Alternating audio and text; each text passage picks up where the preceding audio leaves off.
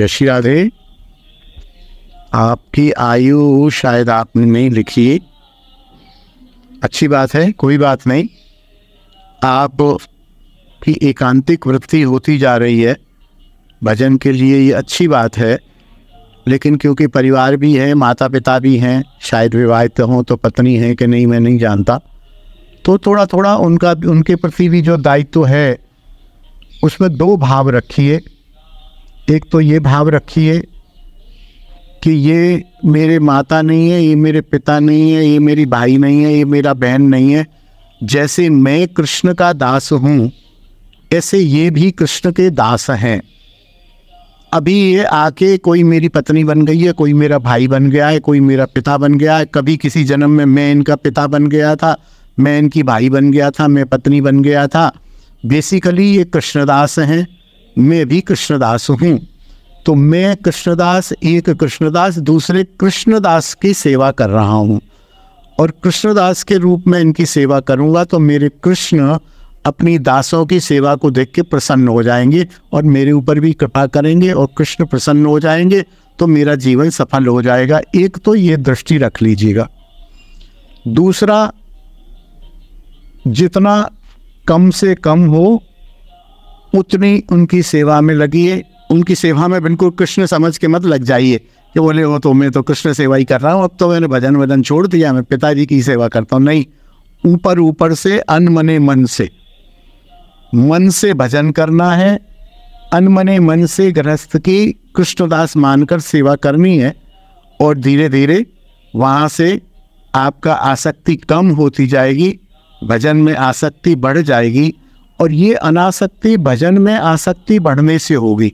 मेरे पुराने प्रश्नोत्तरों को देखिए, उसमें कहा गया है, बताया गया है, जब जब आपकी कृष्ण भजन में आसक्ति बढ़ेगी वैसे वैसे संसार के संबंधों में आसक्ति कम हो जाएगी। संसार के जो माता पिता भाई बहन हैं, ये शरीर के हैं। आप या मैं शरीर नहीं है, हम जीवात्मा है हमारे पिताजी भी जीवात्मा हैं और जीवात्मा कृष्ण का अंश है, आपका भी, मेरा भी, आपके पिताजी का भी। शरीर का संबंध है कि मैं किसी का ये शरीर किसी का पिता है, ये शरीर किसी का भाई है, ये शरीर किसी का पति है, ये भाव को दृढ़ करते चलेंगे तो शरीर का संबंध जड़ संबंध होता है और आत्मा का संबंध चेतन संबंध होता है। इसलिए जो भगवान से भी कहा जाता है, कोई कहता है, भगवान को मैं तो अपना भाई मानता हूँ, कोई पति मानता है। ये भाई, पति, माता, पिता, ये जड़ीय संबंध है, ये अनित्य संबंध है। या तो पिता मर जाते हैं या पुत्र मर जाता है, लेकिन न भगवान मरते हैं, न कृष्ण का दास मरता है, न कृष्ण मरते हैं। न आत्मा मरता है, न परमात्मा मरता है। इसको दृढ़ता से आप यदि अंदर कर लेंगे तो ग्रस्त का भी पालन करते रहिए। अनमने मन से अनासक्त होके और मन लगा के भजन में लगे रहिए। एकांत वृत्ति है तो ये तो बहुत अच्छी वृत्ति है। ये वृत्ति बड़े मुश्किल से प्राप्त होती है। इसको कायम रखिए। यथासंभव महामंत्र का जप कीजिए। शुद्ध रखिए। भोजन को शुद्ध करिए। प्याज लहसुन तो आप खाते ही नहीं होंगे। मांस वगैरह का तो कोई प्रश्न ही नहीं है। तो जूठा मत खाइए। पिता का क्यों ना हो, माता का क्यों ना हो? ना जूठा खाइए, ना जूठा खिलाइए। भोजन अल्पाहार रखिए। कम से कम भोजन जितने से काम चल जाए, जितने से शरीर आपका ढले नहीं, उतना भोजन करिए। होटल का, बाहर का चटपटा भोजन बंद कर दीजिए। भोजन में भी वैरायटी कम कर दीजिए। दाल और चावल खा लिए, बहुत है। रोटी और एक सब्ज़ी कर ली, घर में तीन सब्ज़ी बनी है दूसरे लोगों को तीन खाने दीजिए, आप कोई एक सब्ज़ी ले लीजिए।